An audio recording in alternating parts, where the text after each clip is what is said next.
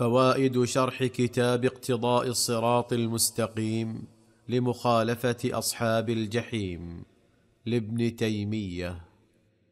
إلا بحبل من الله وحبل من الناس فاليهود لا يظهرون إلا بأمرين إما بإظهار الله لهم للامتحان للابتلاء والامتحان وإما بنصر من من الناس يؤيدونهم والواقع هو هو الحاصل الآن. أن اليهود ما ظهروا إلا على أكتاف النصارى على أكتاف المسيحيين اللي يسمون أنفسهم بالمسيحيين.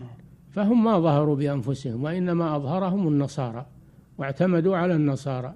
فهذا مصداق قوله تعالى إلا بحبل من الله وحبل من الناس وباءوا بغضب من الله. لكن لا يستمر ظهورهم لا يستمر بل يضمحل.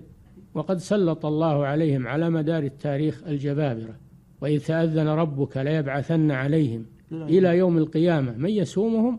سوء. العذاب. ظهر عليهم بخت نصر في, الأول وكما قصه الله في أول سورة الإسراء ودمرهم تدميرا. ثم ظهر عليهم فرعون كما في مصر وكما حصل من فرعون معهم يقتلون أبناءكم ويستحيون نساءكم. لولا أن الله بعث موسى عليه الصلاة والسلام فأنقذهم الله به. لكن لم يتبعوا موسى وحرفوا وبدلوا فعادت عليهم اللعنة والغضب وسلط عليهم في الوقت الأخير الألمان قيادة هتلر. وماذا صنع بهم؟ مما لا يزالون يذكرونه.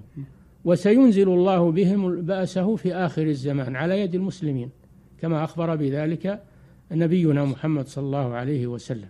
أن اليهودي يختبي وراء الحجر والشجر ويقول يا مسلم هذا يهودي خلفي تعال فاقتله إلا الغرقد فإنه من شجر اليهود.